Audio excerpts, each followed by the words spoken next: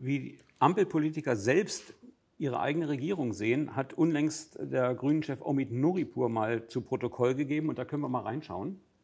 Schaffen wir aber nicht, weil der Streit alles überlagert. Und äh, ähm, ja. das wird sich auch nicht ändern.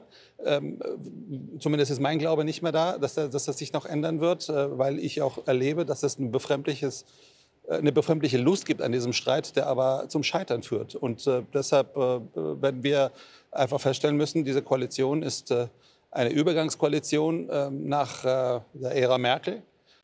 Ja, das klingt schon fast depressiv und es wird sich auch nichts mehr ändern. Und man fragt sich, Übergangskoalition von wo nach wo eigentlich und wie lange sollen wir eigentlich noch im Übergang leben?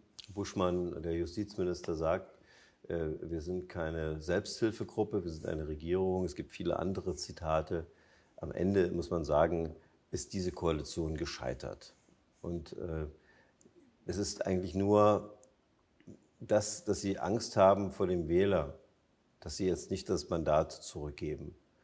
Und ähm, ich finde eben, auch in dieser schwierigen Zeit sind wir bereit, äh, Entscheidungen mitzutragen, die gut für Deutschland sind. Wir wollen dieses Thema Migration klären. Demokratie und Rechtsstaatlichkeit verteidigt man am besten darin, dass man beweist, dass diese Institutionen und diese Prinzipien auch erfolgreich sind. Und da muss man manchmal auch ein bisschen den eigenen, die eigene Parteiprogrammatik nach hinten stellen. Wenn man erkennbar ein Land hat, ein Volk hat, was jetzt auf mehr Begrenzung setzt, muss man das tun.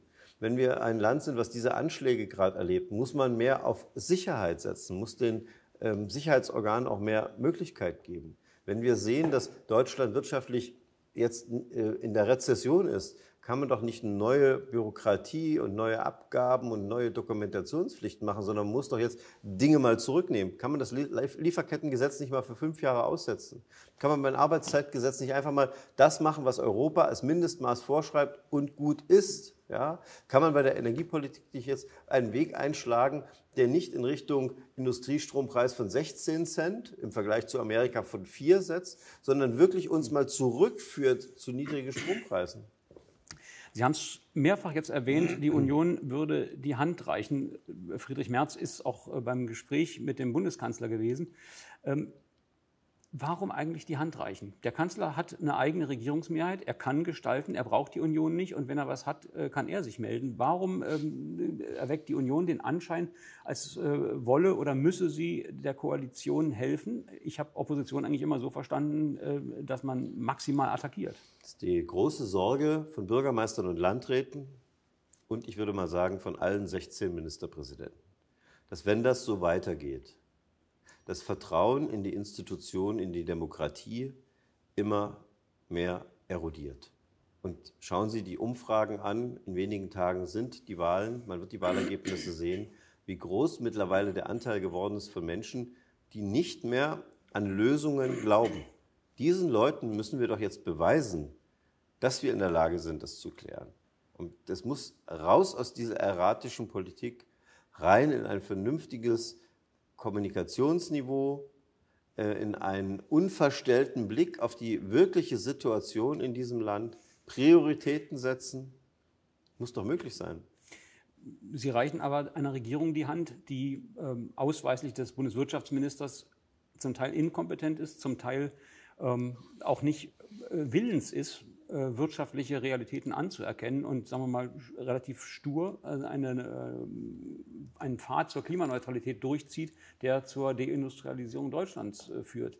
Sie haben eine SPD in der Bundesregierung, die viel mehr, habe ich den Eindruck, ähm, sich darum kümmert, dass irgendwie gegendert wird oder äh, irgendwelche gesellschaftspolitischen äh, Geschichten durchgezogen werden, als dass wirklich innere Sicherheit und, und Wirtschaft nach vorne getrieben werden. Das heißt, Sie sind dann mit in der Verantwortung. Ja gut, äh, das Prinzip für eine Partei, die jetzt über so viele Jahrzehnte in diesen vergangenen 70 Jahren ähm, Verantwortung getragen hat für Deutschland, der ist in der inneren Genetik drin, alles zu tun, was diesem Land nutzt. Und Sie haben recht, derzeit ist es nicht möglich. Auf der anderen Seite ist es so, der Weg zurück ins Kanzleramt, in die Regierungsverantwortung, wird nur funktionieren, wenn man seriös ist. wenn man verantwortungsbewusst ist und wenn man mit klugen Überlegungen und Vorschlägen die Menschen überzeugt. Und deswegen schlagen wir die Dinge auch sehr im Konkreten vor, sodass auch jedem klar ist, was sind jetzt unsere unmittelbaren Ideen und was ist das, was wir nach einer Regierungsübernahme auch gemeinsam machen würden. Sie müssen aber dann für sich und für die Öffentlichkeit erklären, warum so viele Menschen lieber mit dem Wahlzettel der AfD die Ampel bestrafen wollen und nicht mit dem Wahlkreuz bei der Union. Ja, das ist äh, auch der Grund, warum alle 16 Ministerpräsidenten mitwirken würden, auch wenn das manchmal vielleicht unangenehme Entscheidungen sind, weil wir einen Teil der Leute wirklich verloren haben. Und äh, Sie beschreiben das absolut richtig. Die werden erst dann wieder zurückkommen zu, zu Parteien, die auch äh, in, in, den vergangenen Jahrzehnten vieles richtig und viele wichtige Entscheidungen getroffen haben, weg von diesen einfachen populistischen Antworten, wenn sie die Erfolge sehen, wenn sie die Ergebnisse sehen. Demokratie, sage ich nochmal, verteidigt man dadurch, indem man beweist, dass Rechtsstaat, dass unsere Institutionen in der Lage sind, die Probleme zu lösen. Frau Göring-Eckert hat jetzt dieser Tage erst wieder äh, ein Verbot der AfD ins Spiel gebracht, was insofern äh, etwas kurios klingt, als dass die Grünen in Thüringen beispielsweise bei drei Prozent sind und eine Partei, die AfD, mit 30 Prozent verbieten wollen. Wie glauben Sie, kommt das beim Wähler an? Ihr Parteifreund Marco Wanderwitz äh, hat ja das Parteiverbot der AfD auch besonders liebevoll immer betrieben. Es ist absolut hilflos.